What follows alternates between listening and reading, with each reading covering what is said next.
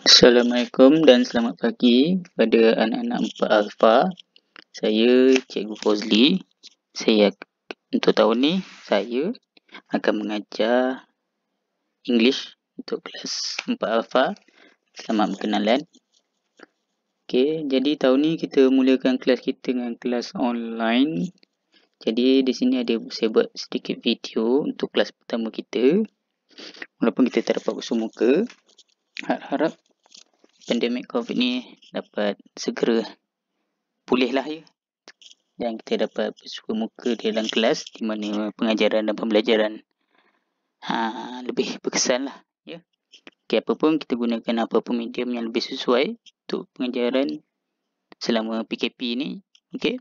Okay, hari ni kita mulakan dengan benda yang senang dulu. Okay. Jika dilihat di sini, okay, kita ada bendera negara-negara. Ini semua sudah sedia maklum bahawa ini bendera negara Malaysia. Dan penduduk dia, kita uh, panggil Malaysian. Okay. Okay, this is the UK, United Kingdom. Okay, United Kingdom, negara United Kingdom dan penduduknya kita panggil British. Okay, orang British.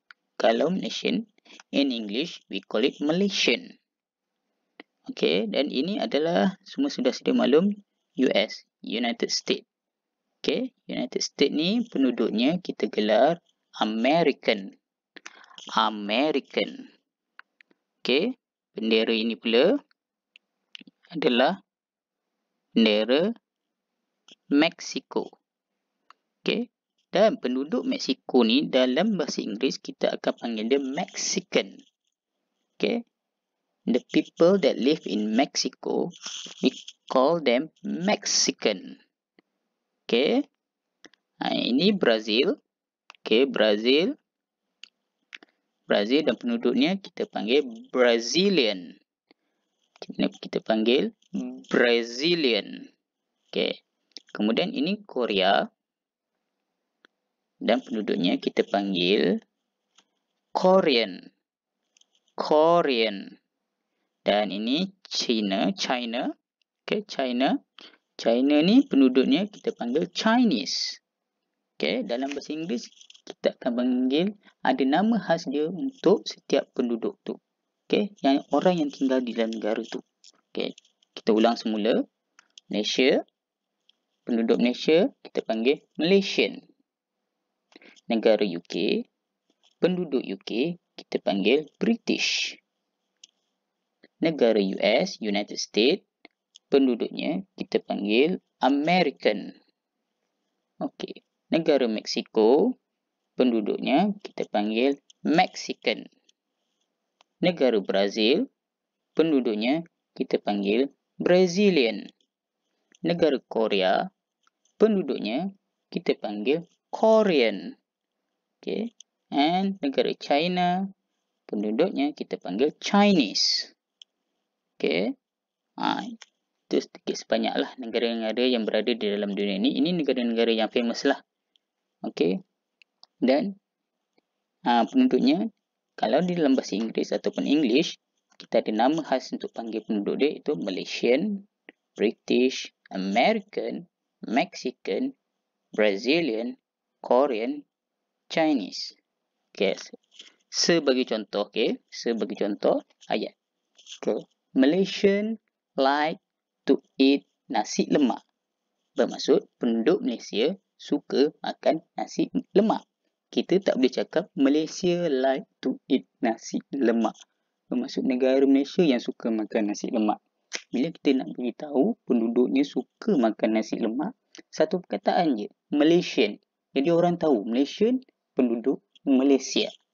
Malaysian like to eat nasi lemak. Ha, simple. Jadi kita tahu oh, bila dengar perkataan Malaysian, oh itu adalah penduduk Malaysia. Bila kita dengar perkataan British, oh itu adalah penduduk negara UK. Orang yang tinggal di dalam negara UK. Bila kita cakap American, itu adalah orang yang tinggal di dalam negara US, United States. Okay. Kerja pada hari ini senang je. Okey. Senak. Ha, kamu murid semua lukis.